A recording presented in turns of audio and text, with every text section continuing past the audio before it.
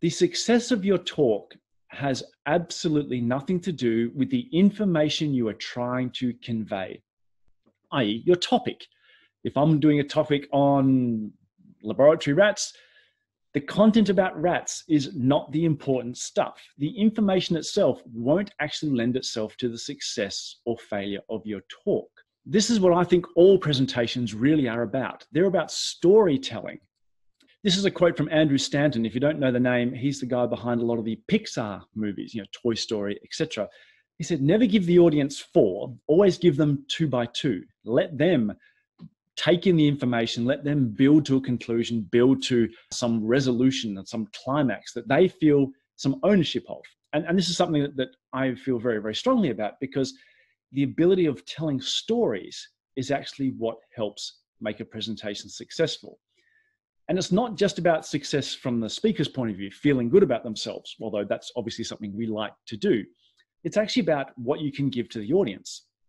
Storytelling improves the ability to learn. And there's a million research papers out there. We just, just Google for storytelling and learning, and you'll find that the ability to tell stories actually goes back through the ages in terms of that is how information is best conveyed to people via the act of storytelling. It also improves memory. If you've ever seen those TV shows, documentaries about people who, for example, memorize decks of cards, what they do is they actually don't just go, oh, that's the ace of spades, that's the queen of diamonds, etc. They actually produce a narrative around sets of cards. So, for example, this set of three you can see on the screen Ace of Clubs, King of Diamonds, Queen of Spades. I might come up with a story, and this is my personal story of something like this I dig, that being a spade. I dig being the queen when listening to punk music. My favorite punk music band is a band called King Diamond, King of Diamonds. I'm number one when I'm in the club, hence the Ace of Clubs. And these kind of techniques are what people use when they're trying to improve memory. They come up with stories around how to actually memorize things. So, as a presenter, if you can tell a story, you're doing half the work for that of the audience. You're providing them the story, the narrative, and that improves their memory. So, what constitutes a story? How do we build a story around obviously what most of our content is, which is typically technical, sometimes what we can think of fairly dry technical stuff. I like to think of stories as the kind of things we tell around the campfire. In Australia, we have a very, very old Indigenous community, the Aboriginals, but Indigenous communities around the world generally talk about how they passed information from generation to generation via the act of stories around community events such as campfires. But stories have a beginning, they have a, the development. Something happens within once we've set the tone and set the characters, and that often means conflict or some sort of predicament. And typically there's a protagonist. And then we come to some sort of resolution. That's what your classic sort of story elements are. Let me give you a trivial example the hare and the tortoise, the race. The beginning is there's a hare and a tortoise. They be, decided to race. The hare was so cocky, he ran ahead, got so far ahead, he fell asleep. The tortoise passed him and won. And we all know that story. The storytelling satisfies those three elements an introduction, the development of something, some protagonists, and then a resolution. And even though it's never said in the story, because the story is told in a way that grabs the audience, we, it leaves a lasting impact. It's never said in the story, but we get that impact. So, you know, if you're the tortoise, you can be persistent. You never have to give up. Or if you're the hare, don't be cocky because it might come back and bite you in the end. They're the lessons that we take away as an audience even though they're never referred to in the story. And that should be our aim when we're doing a talk, a tech talk, even, that we build a story and leave a lasting impact on something to do that the audience can take away. At this point, you might be having a bit of cynicism going, that's all well for stories, but we're techies. Yeah, how do we turn tech content into stories? And my point is this any topic can be storytelling. Let me give you a real example.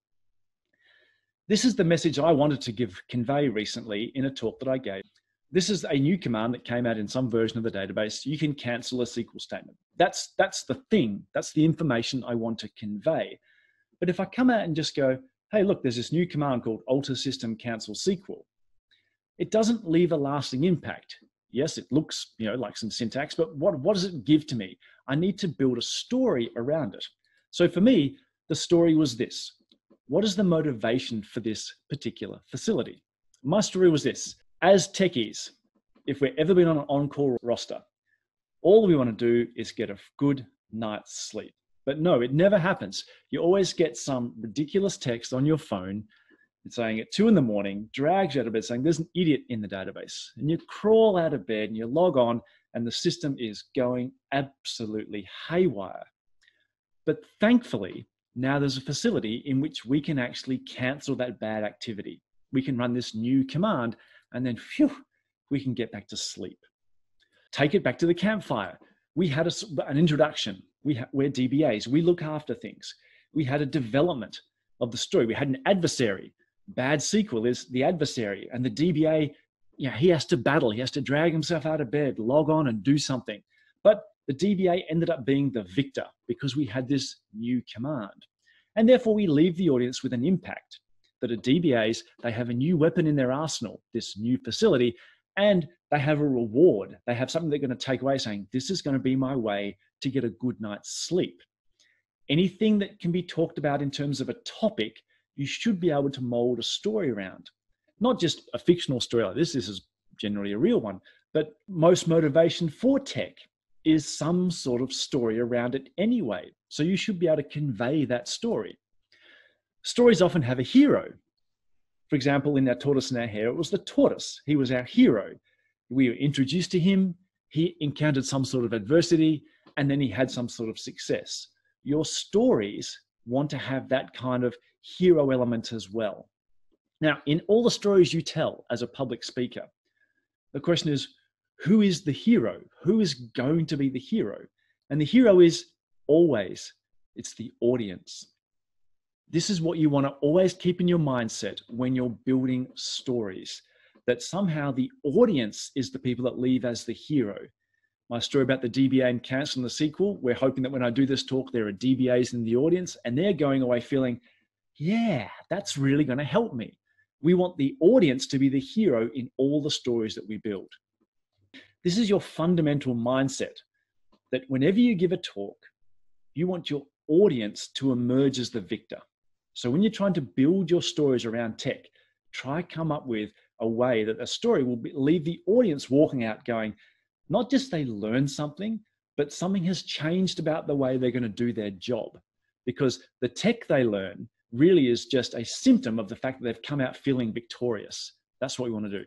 Rest assured, that's really hard because one of the reasons that we all do public speaking is often we feel good about ourselves when we actually complete the talk, especially if we do it well.